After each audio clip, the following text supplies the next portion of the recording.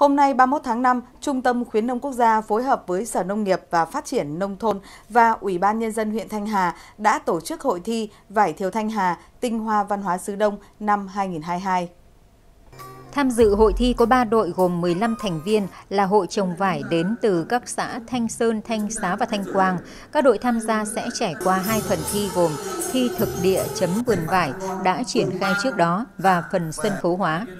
Ở phần thi sân khấu hóa hôm nay có 4 nội dung là chào hỏi, kiến thức, giải ô chữ và so tài nhà nông. Các phần thi đều thể hiện sự am hiểu về lịch sử quá trình sản xuất vải tại vùng đất Thanh Hà và kỹ thuật chăm sóc, thu hái, đóng gói, đảm bảo tiêu chuẩn xuất khẩu.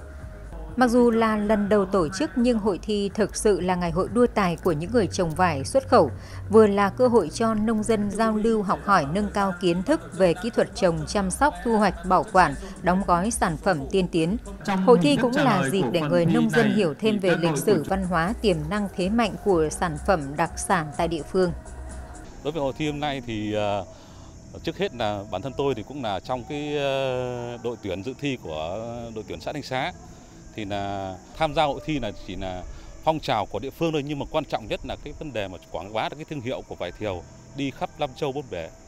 Thì năm nay là nét mới là tổ chức hội thi vải thiều Thanh Hòa uh, tinh hoa văn hóa xứ Đông để tuyên truyền quảng bá cũng như là tôn vinh những cái giá trị văn hóa được lưu giữ trao truyền và cũng là nơi để mà những người ờ,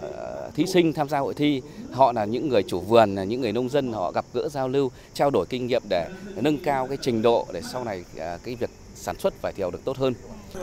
Kết quả chung cuộc giải nhất đã thuộc về đội xã Thanh Xá, giải nhì xã Thanh Quang, giải ba xã Thanh Sơn.